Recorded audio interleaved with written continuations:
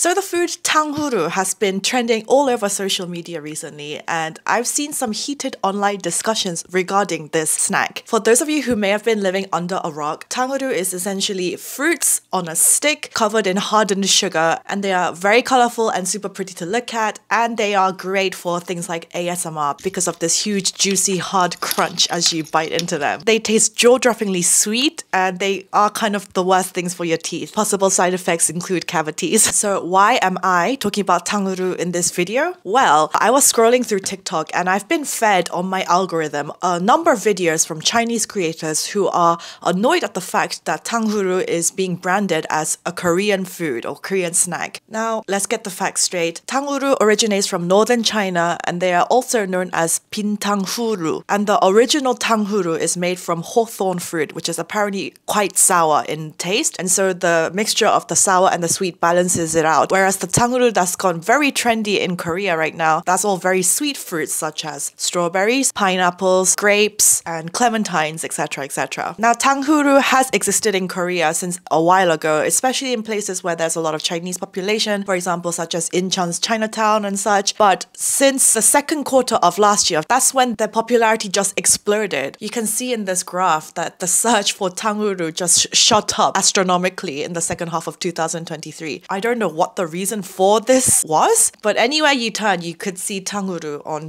TV being shown by celebrities or on social media by influencers and mukbangers. And new tanghulu shops were popping up every week because everyone wanted to get in on the action. I literally have three tanghulu shops near my vicinity right now. So due to the explosion of tanghulu on Korean social media, people from other countries, and I would say in particular the West, they saw it pop up on their Instagram or their TikToks and they wanted to try it for themselves too. And I saw many videos of people who had traveled to Seoul, gone to places like Myeongdong or Hongdae, and they were saying, Oh, I'm finally trying the viral tanghulu. And I did see on these videos people hashtagging it as Korean food or Korean street food. And I also did see the angry commenters from Chinese people who were correcting them saying, No, tanghulu originates from China, which is why this Chinese TikToker made this video, and I'll play it for you right now. This is an article from the SF Chronicle referring to tanghulu, a Chinese food, as Korea's candied fruit craze. Why is it that Chinese food, products, culture is constantly rebranded as Korean or Japanese to be more palatable to a Western audience? And just because this food is popular in Korea right now, it doesn't make it right to refer to it as a Korean trend and not once mention that this is a Chinese food with nearly a thousand years of history. So obviously, she is expressing her annoyance at this article, which was written by an American media outlet, not a Korean one. And yes, in the headline, it says Korea's new candied fruit craze, but in the second paragraph of that article, it does mention that it is from China. Before we get any further into the video, video, I just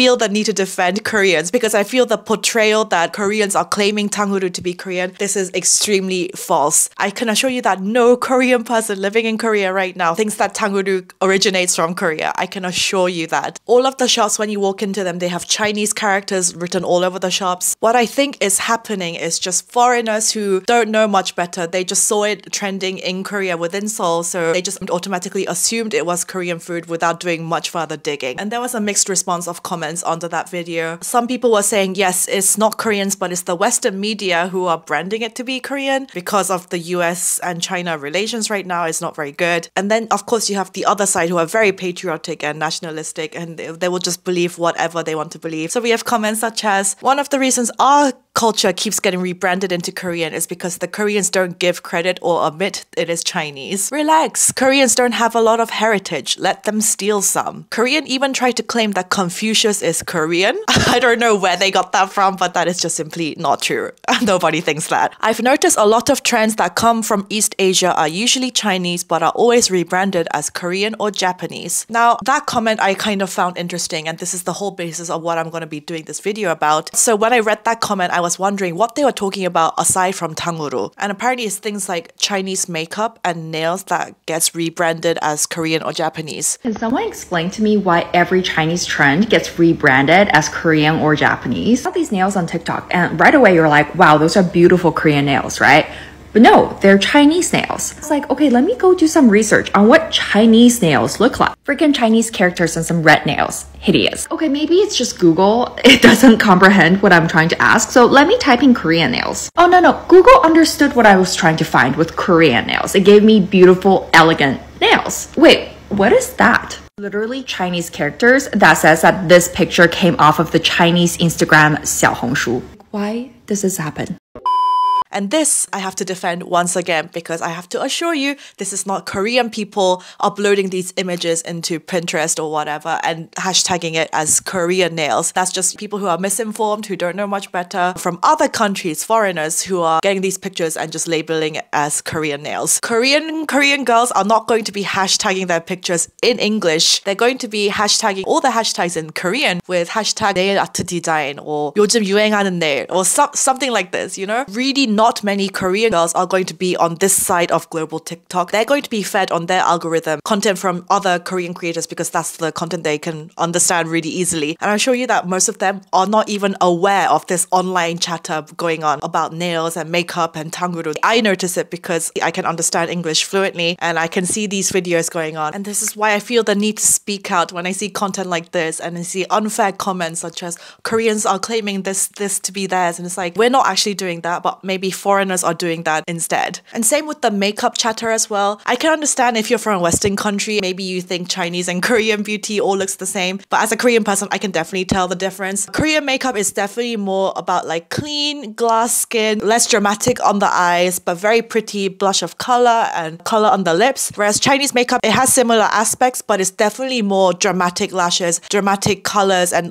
definitely a lot more glitter. So I can immediately tell the difference between these makeup styles. But again, with same as the nails, I guess foreigners, they like to save these makeup styles and they just end up hashtagging it Korean makeup. I think even just the volume of searches for Korean makeup far outweighs searches for Chinese makeup or Douyin makeup. But yes, I do understand the frustration from Chinese creators when they are being mislabeled this way. And if it were the other way around, I really think Koreans would not be happy about this either. I must say, Korea is a very trend savvy place. Whenever there's a next new big it thing, then everybody follows suit and very quickly. Whether it's tanghulu or malatang, which is a Chinese hot pot dish that Koreans also went crazy for from about 2019. And this issue of malatang was brought to my attention when I saw a screenshot of a Chinese person complaining about this one particular incident. And this is taken from the Psick show on YouTube, where it's three Korean guys. They're very funny. They speak in a mixture of Korean English and they get a lot of actors or K-pop stars to come on and talk to them in a mixture of Korean and English. And the issue that I'm going to be speaking about is from when Daniel Caesar came on the show. He's an R&B singer. I love Daniel Caesar. And I guess the guys, they were recommending him like, hey, you should do this. And so let us give you like a typical Korea travel itinerary. First, with your empty stom- stomach, you have to eat uh, malatang. That sounds scary. Ah, malatang, right? No, the, mara the mara soup? soup. Oh, you don't know mara soup. If you want to feel real Korea, you have to try mara soup with your empty stomach. Very hot and spicy. Now, this, what he said, I feel like I can't defend. And uh, to be honest, I don't know why he said that. And if I were a Chinese person looking at this, then I would feel offended too. But it wasn't just me who felt like this. I saw in the comments of that video Korean people writing in Korean. I'm not a professional, uncomfortable person, as in I'm not a Karen, but it's a bit disappointing to recommend malatang while talking about travel courses for Koreans. In a world-class global talk show like the Psick Show, which represents Korea, it was a pity to say malatang as if it were a Korean food that must be eaten in Korea. Since when is malatang a recommendation on a Korean travel itinerary? So, in terms of that particular incident, I just want to say to any Chinese people that may be watching, us Koreans don't agree with what he said or recommended. And I apologize on his behalf because when I saw that, I was a bit confused as well. But for those of you who may be watching my channel right now and you're from the West or just other countries, I know some of you guys may be thinking, oh my God, these East Asians, they get so worked up over silly nonsense and they fight so viciously over things like snacks and food. Like, it's such a big deal. I've seen some people comment on these kind of things like, oh my God, nobody cares apart from you guys about this sort of thing. And yes, it can seem a little bit ridiculous. For example, in Seoul, we have this place called the London Bagel Museum, and people literally queue for two to three hours to go inside and buy these bagels. And obviously, bagels originate from Jewish communities in Poland, but there is no uproar from abroad who's saying, hey, you Koreans, you cannot be selling these bagels and also be calling the shop London Bagel Museum. You know, there's no uproar. But the history between the East Asian countries, so China, Japan, and Korea, the history runs painful and it's deep and it's very complicated. And it's very sensitive issue because there has been many cases of what's seen as cultural appropriation. There was a whole issue back with some Chinese communities saying that kimchi is actually a Chinese food, and there's an issue with hanbok, which is a Korean traditional dress. And I've heard that China and Japan also fight about the origins of ramen and sushi and gyoza, this kind of thing. I can't get into all the arguments because it's going to be such a massive long video, but you guys should just know that Korea has a history of being attempted to be dominated by the neighboring East Asian countries, which is why things like kimchi and hanbok are very sensitive issues. It's not just East Asians though. Mexicans, for example, they would take extreme offense if suddenly Americans were like, hey, uh, American food, we have quesadillas and tacos and enchiladas. That's on American food. If suddenly French people were like pasta, lasagna, tiramisu, that's French national food, I think Italians would get extremely mad about this. Anyway, back to the topic of tanghulu. Why have foreigners been assuming that tanghulu is a Korean street food when it has been a Chinese snack for centuries? Now, this is where the soft power discussion comes in. And what is soft power? Essentially, soft power is defined as a nation's ability to influence others through attraction rather than coercion or force, like military hard power. And soft power can be a powerful indicator of how a certain nation will perform in terms of investment, tourism, and talent attraction. And it's pretty clear that Japan and Korea are rather good at the soft power thing. Japan has been a powerful player on the world stage since the 80s and 90s, and they have so much anime and games that they offer Dragon Ball Z,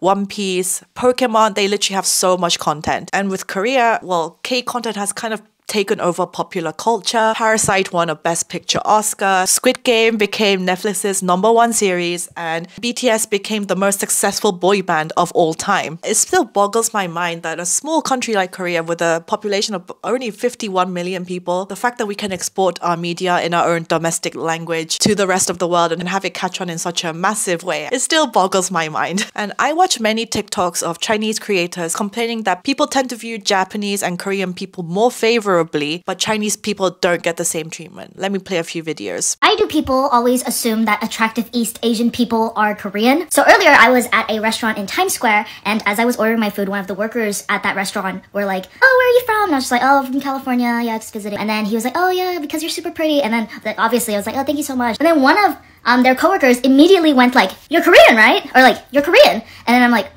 "No, Chinese." And then he kind of went like, "Oh, Chinese," you know, like why do people just assume that if you're attractive, you're Korean, you know, if you're East Asian? I don't know. I just feel that, like, as a whole, people just kind of assume that Chinese people are, like, unattractive, or, like, I feel like people view, like, Chinese culture or anything Chinese as, like, less attractive because, like, Korea and Japan has, like, a lot of soft power. China has, like, what's, what's the word? Hard power? The soft power of a nation is actually its most powerful weapon, and the most important part of that soft power is through entertainment. Every single person on this planet likes to consume entertainment, and it's much more easily and happily consumed than reading and watching about foreign affairs and politics around the world. Because not everybody has discussions every day about foreign affairs and foreign policies, but every person does like to consume foreign content, especially if it's very good and entertaining. Well, what is the issue with China and their soft power, and why might it be not as effective as Japan or Korea's? There are a number of reasons for this. First, the entertainment that's created in China is extremely limited and censored. In Korea, we are considered to have freedom of press because we are a liberal democratic country. Of course, it's not perfect and there are several pressures, but we are considered to have freedom of press. However, China is run by the Chinese Communist Party, the CCP, and it is one of the strictest censorship regimes in the world. It is called the Great Firewall of China, and the political censorship is built into all layers of Chinese internet infrastructure. As of 2023, the World Press Freedom Index lists China as the country with the second least press freedom in the world after North Korea. And if people in China want to access the global internet, they must use a VPN to bypass that firewall. The ending of the classic cult movie Fight Club in China that got a completely different ending. So in the original, the narrator played by Edward Norton, he realizes that Tyler Durden, played by Brad Pitt, is his alter ego, ends up killing him off, and um, he stands with his girlfriend as they watch as explosives are blowing up a bunch of skyscrapers, suggesting that Tyler's anarchist plan to destroy consumerism is in the works. However, in the Chinese version, that final scene is just removed completely and it is replaced with a wall of text that says Through the clue provided by Tyler, the police rapidly figured out the whole plan and arrested all criminals, successfully preventing the bomb from exploding. After the trial, Tyler was sent to lunatic asylum, receiving psychological treatment. So, yay, the ending in the Chinese version basically says that the police and the state came came to the rescue and successfully restored order back into the society. And the rebels did not win. If you guys have read the book 1984 by George Orwell, the CCP is essentially like that. Some other examples of words that are banned in China include Winnie the Pooh and Baozi, which means dumpling, because there were memes going around that Xi Jinping, the president of China, there were memes saying that he looks like Winnie the Pooh or that he looks like a dumpling. So those words are banned. The Dalai Lama is banned because he is a symbol of Tibetan independence. The phrase go Hong Kong is banned for obvious reasons. And any discussion of the 1989 Tiananmen Square is extremely heavily censored. And that incident was where peaceful student led pro democracy protests ended up in gunfire and bloodshed by the government. This is a very highly controversial part of China's recent history, and it's still unclear just how many people died in that incident because the CCP likes to keep it very hush hush. And there was an incident with a Chinese influencer slash live streamer, and he was named the lipstick king because he was very good at selling lipsticks online. And he disappeared from the internet for about three months after, where in one live stream, he appeared to present an ice cream cake in the shape of a tank. And that tank is very sensitive in China because of this really famous photo of a student standing very defiantly in front of a tank in 1989. So, yeah, it's very clear that the CCP has a very tight grip on media that is put out by China. And of course, when entertainment coming out of a country is so heavily censored, that's going to determine how cool or appealing that content is to a global audience. This is why China's soft power or China's entertainment simply just does not hit the way that Japan or Korea's does. The CCP obviously will allow and encourage content that will promote traditional Chinese values and talk about how great the Chinese culture is. And some of the content that comes out of China is actually quite hilarious. I even sometimes cringe at the Korean government's efforts in Korea's promotional materials, but China is something else. There's this really funny rap called This is China, sung entirely in English, and it's the most earnest and serious piece of propaganda that I've ever seen. This is China, we love the country with the and the red dragon the peaceful place, the beautiful This song's mission is to restore the impression you have of my country, China, saying that a false image has been fabricated by the international media. It praises China's wonders, such as using mobile apps to pay for everything. And yes, it admits that China does have pollution problems, but it is a developing country and therefore it is really hard to manage. It touches on Taiwan and says that the international community simply just does not understand the relationship between Taiwan and its motherland and how everyone just wants them to be united as one. Go watch that video. It's honestly really, really quite funny. And I can just imagine that like a group of men from this CCP just sat together and they were like, how can we make a promotional video talking about China and try to improve our image to the international community? And this is what they came up with. And some of the comments under that video, I'm sorry, but as a Westerner, I see massive meme potential in this. I can feel the social credit flowing through my veins when I listen to this. Damn, China, you're really good at this whole soft power thing. But this is why K pop is seen as so cool in comparison to that kind of entertainment coming out of China. Because K pop is allowed to be just, you know, the art itself. It's just mainly about the catchy melodies and the catchy hooks and the eye catching dance routines and the visually pleasing costumes and aesthetics. And so it is allowed to be just cool. But imagine if BTS had to come out with a song that was singing about, like, hey, kimchi is the best side dish you'll ever taste. And Korea has the nicest cafes in the world. And we have the best affordable healthcare. So I don't even want to imagine a world in which that happens, but that would be just just terrible. And the reason why works like Parasite and Squid Game resonated with so many people around the world is the fact that it has themes that everyone can relate to. The greediness of people, the wealth gap between the rich and the poor in a capitalist society, but it's all filmed in a super stunning and entertaining way with lots of twists and turns and of course superb acting. Art and entertainment should focus on just that, being entertaining and resonating with people. But if all the media that's put out by a country has a hidden political agenda in trying to promote how great that nation is, then of course all of that content will lose its joy and charm and authenticity. And it actually made me feel bad for the artists and the creators within China because I'm sure they want to make the art that they want to make without having to go through a whole censored propaganda machine. But also, people living in China are blocked from seeing the content that's on the global internet. They cannot access platforms such as YouTube, TikTok, Instagram, Netflix, unless, of course, they use a VPN, like I said. And instead, they have their own versions of these platforms that they can access within China. And their own domestic market is actually so huge that the producers and the content creators can afford to just focus inward towards their own people. Whereas Japan and Korea, we do prioritize on trying to export our content globally. And we are also perfectly free to do so without any, you know, firewalls. Hence why when the Tanghulu craze swept over Korea, people overseas became interested in it because they saw it. But if the social media content coming out of China is heavily vetted and censored, then it's simply just not going to resonate with the rest of the world as much in comparison. And I really think that this is a shame. And finally, yes, in the current world affairs, we cannot dismiss the fact that US and China relations are at an all-time low, probably. This is why the US Congressman Tom Cotton was heavily grilling the TikTok CEO in the recent hearing. Of what nation are you a citizen? Singapore. Are you a citizen of any other nation? No, Senator. Have you ever applied for Chinese citizenship? Senator, I served my nation I'm in ask- Singapore. I- no, I did not. Do you have a Singaporean passport? Yes, and I served my military for two, two and a half ha- years in Singapore. Do you have any other? Do you have any other passports from any other nation? No, Senator. Have you ever been a member of the Chinese Communist Party? Senator, I'm Singaporean. No. Have you ever been associated or affiliated with the Chinese Communist Party? No, Senator. Again, I'm Singaporean. Let me ask you some.